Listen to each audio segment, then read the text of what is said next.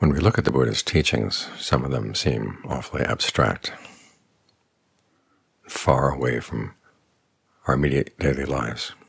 But we have to remember everything is there for a practical purpose. Some of the more abstract seeming principles are really the most basic ones. And it's good to see how they relate to what we're doing, like the Buddha's statement of causality. When this is, that is, from the arising of this comes the arising of that. When this isn't, that isn't. From the cessation of this comes the cessation of that. That's two causal principles interacting. One principle is causality in the present moment. Something arises right now. It has a cause that arose right now.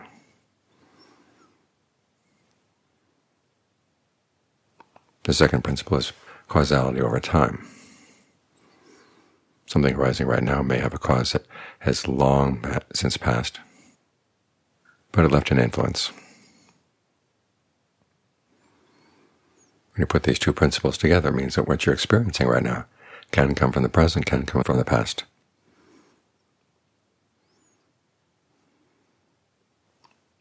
And the Buddha lays this out more clearly in Dependent Co-arising. The world of the six senses, contact of the six senses, comes halfway through the, the list of causes. And that's basically the influences coming in from the past, whereas fabrication, intention come earlier. And these are the things you're doing right now. In other words, what you're doing right now is prior. influence the fact that you even experience these things coming in from the past. This principle is why we're meditating. We're trying to look at what we're bringing to the present moment, what anticipations, what ideas, what perceptions, what assumptions are we bringing.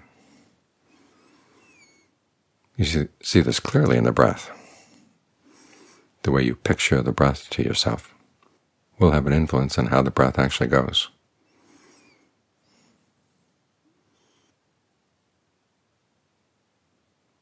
How you tell yourself to focus on the breath will influence how the breath goes. This is why we try out different assumptions about the breathing, the breath energy in the body.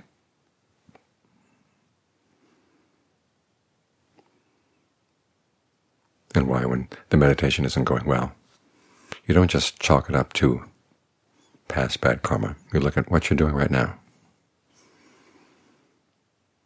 Now it may be that something happened a little while ago that has you all riled up. You can't change that fact. But you can change the fact of how you approach being riled up and to what extent you develop skills to calm yourself down. Remember, calming bodily fabrication, calming mental fabrication. These are steps in the breath meditation. It applies to things you're bringing in as much as things that you're doing right now.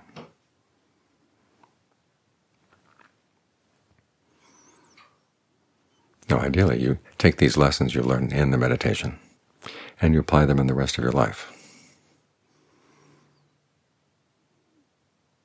Try to be sensitive to the assumptions you're bringing to different situations, so you don't just react on automatic pilot. Because what is automatic pilot is just your old assumptions. Someone comes and pushes a button, one of your buttons, and you know what has buttons? Machines. People don't have buttons. When you allow your buttons to be pushed, you turn yourself into a machine. You simply go along with the program. And when you look at some of the programs, you realize wasn't the wisest person in the world who designed them. It's more like Daffy Duck and Elmer Fudd. Violent emotional reactions that obliterate your mindfulness. So you've got to leave little signs for yourself to remind yourself things outside may not be ideal, but that doesn't mean you have to suffer from them. You want to rewrite the program. Take your old assumptions and compare them with the Buddha's. There's a Thai term for these assumptions. Samut comes from the Pali samati, which means something that is agreed on, something that is supposed into being. And the mind has its little inner agreements. And here again, you might ask yourself, who are you agreeing with when you follow a particular program? Is it Daffy Duck? Can't you agree with somebody better?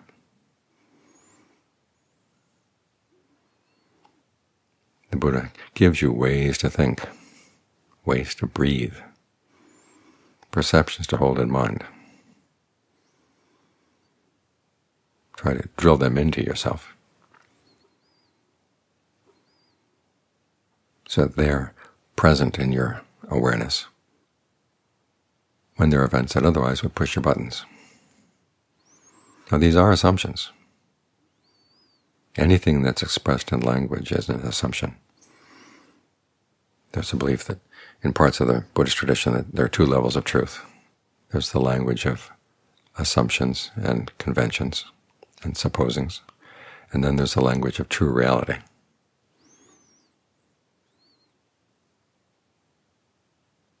But all language is a matter of supposition. The Forest tradition doesn't make a distinction between or pairing between assumptions and ultimate reality. They make a pairing between assumptions and release, because it's only in release where the mind is totally beyond the influence of past assumptions. Even the Buddha's teachings, as he lays things out, are there as assumptions for you to fall back on, to guide your actions as long as you have to be acting. After all, you assumed yourself into being a being. And once you become a being, beings have to feed. That's going to guide you. So what are the Buddha's feeding instructions? Well, he has you feed on generosity, feed on virtue, feed on meditation, thoughts of goodwill, and then the meditation of getting the mind to settle down with the breath to gain discernment. All these instructions are the assumptions that you use so that you can feed well, and feed in a way that takes you to a point where you've developed the strengths inside that you no longer need to feed.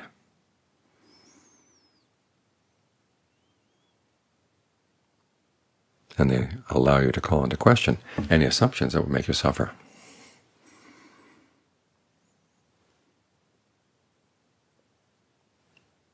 What are the assumptions that are making you suffer right now? Can you question them?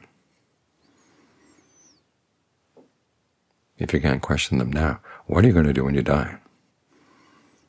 Because one of the hardest things about dying is the question, what will become of me?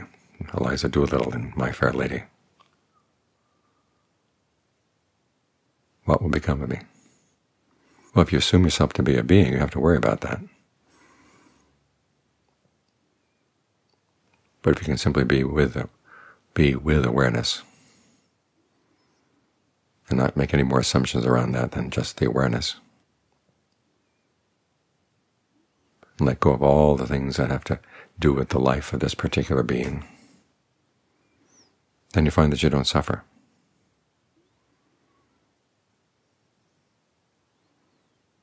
You learn to turn around and look at these assumptions and the extent to which you saw them as reality.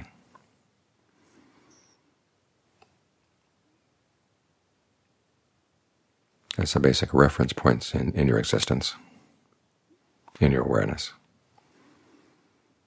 and how they were useful in some ways, otherwise you wouldn't have latched onto them. But they can also weigh you down when you realize this is the time to stop using them as reference points and can learn how to let them go. Again, the Buddha gives you the tools of analysis, his assumptions for analyzing these things so we can get past them. When you get past them, okay, you put the tools down. And the mind will come to that point where it's no longer giving any input into the present moment. Even the intention not to do anything is not present. This is why when the Buddha talks about this moment, it's in paradoxes. That Deva asked him, how did he cross the stream? He says, by neither pushing forward nor by staying in place. It's a very precise, accurate description of that moment, but it's hard to understand as long as you're still in the coordinates of space and time. But when you can drop that present moment input, and this is where that teaching on causality really shows its value, there is a possibility for freedom.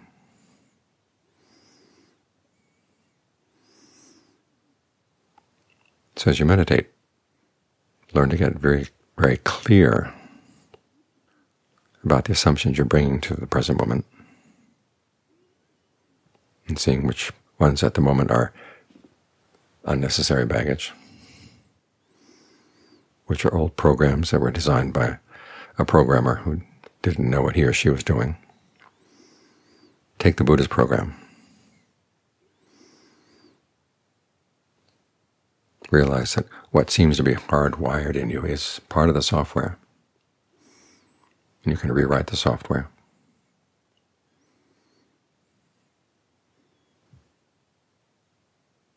The Buddhist instructions are basically lessons in how to rewrite the software.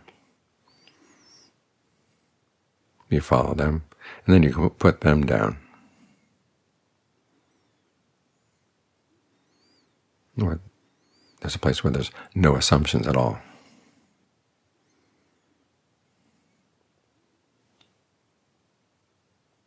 So that's how the more abstract teachings apply right now. Look at what you're doing. And this is what alertness is all about. We're in the present moment not to be aware of the whole present moment as a totality, but more specifically, what are we doing in the present moment? You focus on that. Learn to see the programs behind it. Learn to see where they're well written, where they're ill written. And as you go through the day, try to be mindful. When you see an old program slipping into place, you have the right to pull out.